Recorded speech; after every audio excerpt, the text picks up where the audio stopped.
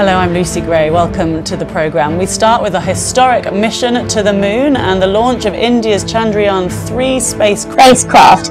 This is the moment that it took off just under an hour ago. It entered Earth's orbit shortly after. It's India's second attempt at a lunar landing, and if it's successful, the craft will deploy a rover near the moon's south pole next month, and India will become only the fourth country behind the US, the former Soviet Union, and China to manage a controlled lunar landing.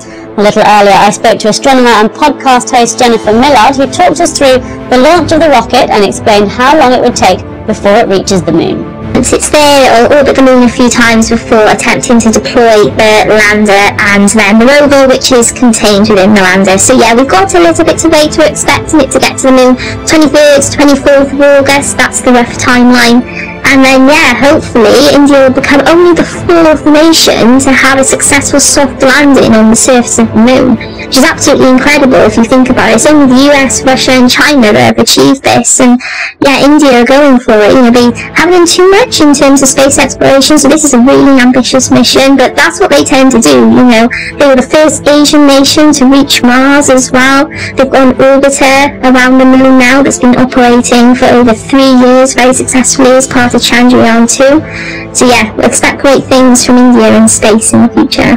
So it was actually the Chandrayaan program that discovered water at the south pole of the moon and concretely discovered water on the moon. That was the first time that had ever been done.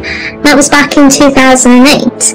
And then, of course, they're really making amazing progress, spending very little money on these projects. You only look at NASA's, the, the budgets run into hundreds of millions, billions of dollars, whereas the Chandrayaan ones are doing it for $75 million, something like that. We spend more on making movies, and yet are going to explore. How, how are they able to do that so much um, more cheaply?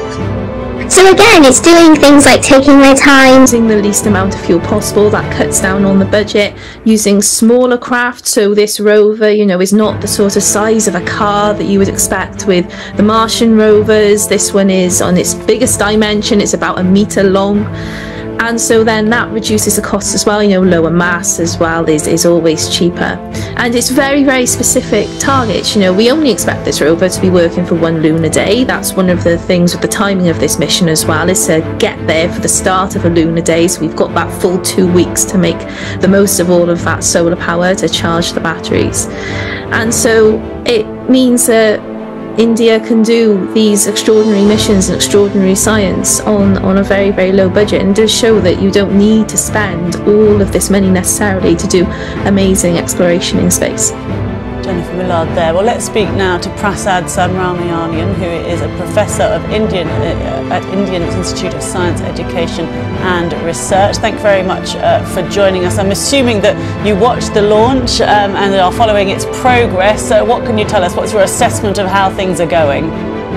Things are going very well. Um, uh, fingers crossed, uh, but but I, I believe we will pass the most crucial uh, stage of, of the launch. And uh, so, so so so as of now yeah yeah things uh, couldn't be going better. So just to explain what's happened there was blast off and then the boosters separated uh, from the rocket didn't they? Those boosters have now fallen into the ocean and i understand it has now entered earth's orbit and then just if you could just explain what's happening because it's going to orbit the earth several times isn't it before it does this sort of slingshot movement uh, and, and tries to get into the, to the lunar orbit that's right, exactly. It's it's a matter of uh, entering uh, um, entering the moon's gravitational, primarily the moon's gravitational pull, and and it's a complex maneuver. And uh, so, uh, uh, to be clear, the rover per se is going to land on the moon only in about two weeks or something like that. Yeah, twenty third or twenty fourth of August, they said. That's right. Yes, yes, something like that. So uh, in between now and then, it's it's a lot of fairly complicated orbital dynamics that's going to happen. Basically uh, trying to build up speed though, I understand. Yes, yes, yes. The, the slingshot's a very good analogy. Um, uh, you, you, you need to get, get, get your stone right in, in, in, in the right trajectory. So that, that, that's pretty much what it is.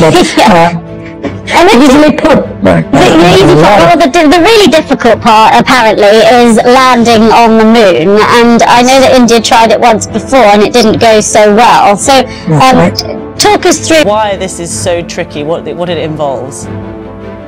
Oh, uh, to the extent I understand, um, it's it's a matter of um, it's it's think think of uh, of, of uh, trying to land on your feet uh, uh, while while jumping the top of a, of, of a building. Uh, you, you need to make sure your feet are strong. Uh, I wouldn't recommend this to anybody, but but if you were trying to do that, uh, you need to make sure your feet don't buckle and, and there's a lot of rebound and you're not very sure about the composition of the soil where you're landing. So all these things. So um, so that's why um, it's it's it's a combination of mechanics um, and and, and uh, uh, mostly mechanics. So just and ex- uh, this. T- Sorry, Sorry. I was just going to ask if you could explain. explain what the mission is. As I said, the, the aim is to land on the South Pole. And we don't know a huge amount, do we, about the actual South Pole? That's right. That's precisely where, where- where we're trying to go there. And uh, uh, the mission, the, the objectives are manifold.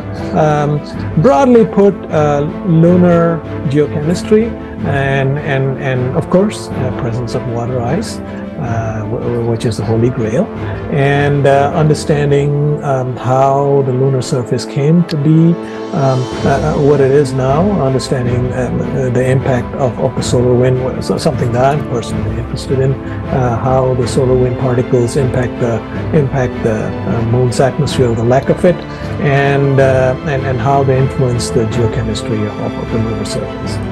Yeah. This is about as much as, as, as, I broadly understand, yeah. Yeah, well, so far so good. So we will see, I suppose, won't we, in the in the coming weeks. Thank you very much uh, for talking to us, uh, Prasad Subramanian, who is a professor at the Indian Institute of Science, Education and Research. Thank you.